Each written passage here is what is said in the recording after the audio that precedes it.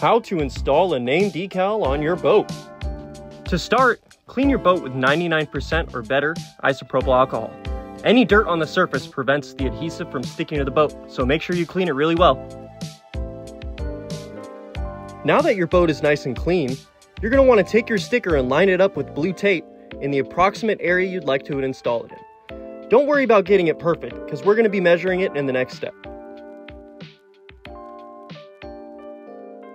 Now grab your tape measure and we're gonna measure from some kind of a reference point. What we're using is the top of the hatch. So we're measuring from the top of the hatch to the top of the letter and we're looking for four and a quarter on both sides. Make sure to just measure a couple points to make sure that it's in the right place. Doesn't hurt to measure twice.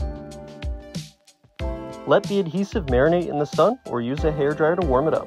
Using a squeegee or a credit card, we're going to squeegee the letters to help promote adhesion between the letters and the top layer of vinyl. Now we're going to be removing the vinyl back. Carefully peel half of the backing, grab a blade, and cut half the backing off. Go ahead and stick that half to the boat, and this allows an anchor point to remove the other side without losing your measurements.